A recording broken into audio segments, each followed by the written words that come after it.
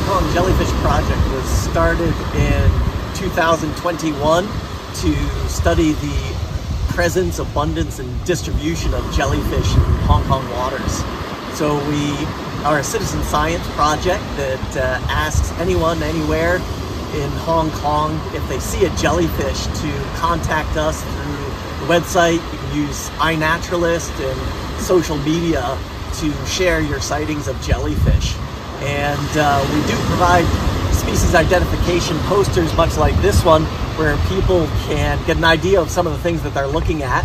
And if you, you then submit some of your sightings, I'm happy to share information that I have about uh, what you've seen.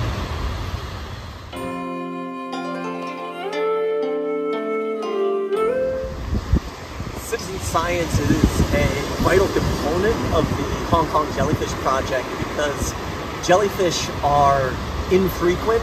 Uh, they have different cycles that uh, we need to do more research on. So it's very hard for one or two people to accurately be able to assess jellyfish. And especially marine science is, is difficult to do just because it's harder for people to get out onto the water. So having hundreds of people looking for jellyfish is, uh, is far more effective than having just one or two people. So every citizen scientist's contribution is really important to the project. So some of the cool things are just understanding what species are here.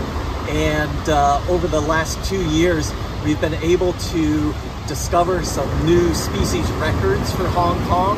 And uh, we've also been able to examine seasonality where many people think that jellyfish are more prevalent in summer, but we tend to find them more prevalent in the April-May time, so in, in later spring as they bloomed and grown, and then uh, currents and, and winds will push them into different areas of the China coast.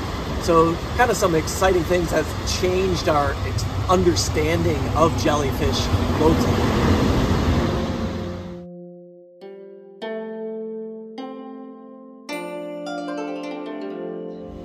The best thing is for anybody out in the course of your daily life to, if you see a jellyfish, take a photo of it. You can, if, if you're familiar with iNaturalist, you can update sightings to iNaturalist. You can also contact us through the website at uh, www.hkjellyfish.com. Uh, and we're also on social media. Any of these ways are great ways to share your sightings.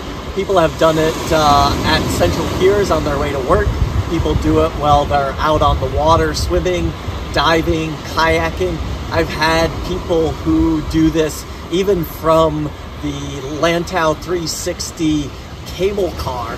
Someone was on that car, saw jellyfish below, and took a photo and sent it to me. So even flying through the air, you can send jellyfish sightings to the project in any of these ways.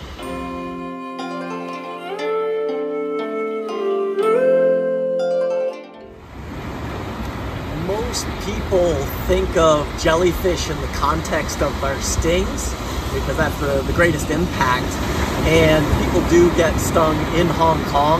The Hong Kong Jellyfish Project is collecting information about stings. So if you do get stung, you can share a report of that and photos of that sting on the website hkjellyfish.com. Internationally, research has also been done about being able to predict jellyfish and when they show up and where they show up. So with long enough data sets, we're hoping to be able to contribute in that way and have a greater understanding of when jellyfish show up and where they show up in Hong Kong waters. And then people who are out bathing or out recreating in the water can have a greater understanding of whether there will be jellyfish and what they can do about it.